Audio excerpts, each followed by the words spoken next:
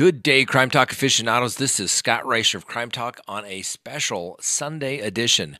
First on the docket, yes, the attorney that even attorneys love to hate, Michael Avenatti, is going to get a trial, and our dumb criminal contestant and winner of the week. Let's talk about it.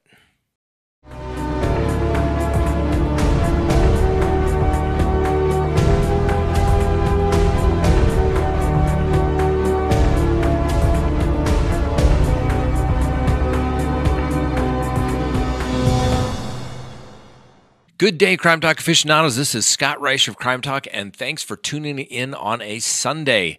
First, Michael Avenatti. Yes, the attorney that everyone loves to hate, even attorneys. Mr. Avenatti is obviously presumed innocent of all of the charges against him in all of the jurisdictions. A judge rejected Michael Avenatti's motions to dismiss several of the charges against him. Now, for those who do not know, Mr. Avenatti claim to fame was that he was representing a uh, stripper, also known as Stormy Daniels, uh, in basically this confidentiality agreement that uh, she apparently had with the president. Now, Mr. Avenatti got in some real hot water because he's being prosecuted in New York for two matters, and then he's being prosecuted in federal courts in California as well. The case in New York um, prosecutors accused Michael Avenatti of telling Nike, yes, the shoemaker, last March that he would not publicize his client, and that's a client by name of Gary Franklin's claim about payments uh, that Nike supposedly made to him and to other organizations uh, in this uh, basketball league. If Nike would pay Franklin $1.5 million and pay Avenatti personally $25 million to conduct an internal probe for Nike to make sure that such conduct does not happen again. Now, it's alleged that Mr. Avenatti failed to tell his client, who was a youth basketball coach in a Nike sponsor league, that Nike actually offered to settle their claim with him. Now, every attorney has a duty to relay all offers to their client. A, an attorney cannot just reject an offer, that has to be relayed to the client so they know what's going on. And what Mr. Avenatti is alleged to have done is basically failed to tell his client of the settlement and then tried to get, like I said, this extra $25 million for his own services. Now, Nike called the police and basically um, the FBI was involved and he was charged with, for lack of better term, extortion. Once Nike uh, received the offer of uh, $25 million, you know, for Mr. Avenatti to basically not reveal his uh, allegations to the press, but that he would, in fact, be paid for doing work because he was going to conduct this audit. And basically, it's it's an honest services uh, type of test that he was being paid for something in exchange for something he was going to do, and it wasn't just an extortion. The judge rejected those claims, and we'll see if a jury believes that he was entitled to be compensated for his services that he was going to perform, or whether it was just an illegal shakedown. Now, once Michael Avenatti has his first trial for the basically the Nike case, then in April of this year. He has another trial in Manhattan for allegedly cheating uh, Miss Stormy Daniels out of proceeds from a book contract. And then in May, uh, going back to Santa Ana, California, Mr. Avenatti is allegedly accused of defrauding clients out of millions of dollars and lying to the Internal Revenue Service. Mr. Avenatti is going to have a very tough time because most federal cases, not all, but most, result in either a plea or a conviction.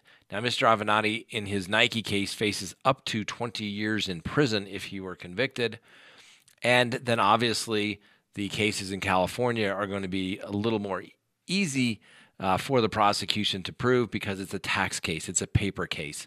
Um, it's they're going to be boring as all get up, but they are pretty straightforward and frankly just straight to the numbers. So we'll see. We wish Mr. Avenatti good luck on his trials, and we'll see if there'll actually be a trial in all three cases. Now, next on the docket, we have two dumb criminal contestants of the week, and the two contestants today are in the running for the Dumb Criminal of the Week award, which will result in, yes, if they claim it, a Crime Talk mug. Now, you don't have to be a dumb criminal to actually claim your own Crime Talk mug. You can simply hit the link below to Teespring, and they will make you a mug and ship it to you within a matter of days. And who doesn't want a Crime Talk mug? I do. I've got several of them. I've even got a red one. Do you like that? You can have one too. Hit the link below. Now, our two contestants. First, he's an unidentified man, but police in Riverside, California are looking for a man who robbed a caricature artist but left the key piece of evidence behind his own portrait. Can you believe this guy? He basically gives him a picture. Why not take a selfie with him too before you rob him? Not a smart move at all. So, Mr. Unidentified Character Man, let us know. Do you see this picture? Anybody recognize him? The Riverside Police would like to talk with you if you do. Now, our next contestant of the week is a Joanne Mercator. Now, Miss Mercator, 59, lives in a trailer park. She apparently called her landlord to complain about some plumbing issues. Well, things didn't go as planned and the service didn't come. So ultimately, Miss Mercator went to her landlord's house and threw a bucket of feces at her landlord. Oh, not a good thing. Why? You can't throw feces on people, and you certainly can't throw them at what they consider to be at risk adult because that is a felony. Now, originally, Miss Mercator denied the attack and then admitted that, oh, I must have thrown that bucket of feces by mistake. I meant to throw a bucket of water. Well, it's unclear why Miss Mercator would want or have at her fingertips a bucket full of feces and get the two confused, but apparently she did. She was arrested and charged with a felony. We'll see how it goes. Although I haven't been able to see the body cam video, apparently it is quite disgusting as both the landlord and Miss Mercator were covered in feces. Now, boy, these guys are. We've had some good contestants for the week. We've had the uh, alleged a lot of lottery winners who taped the winning numbers or glued the winning numbers to the ticket.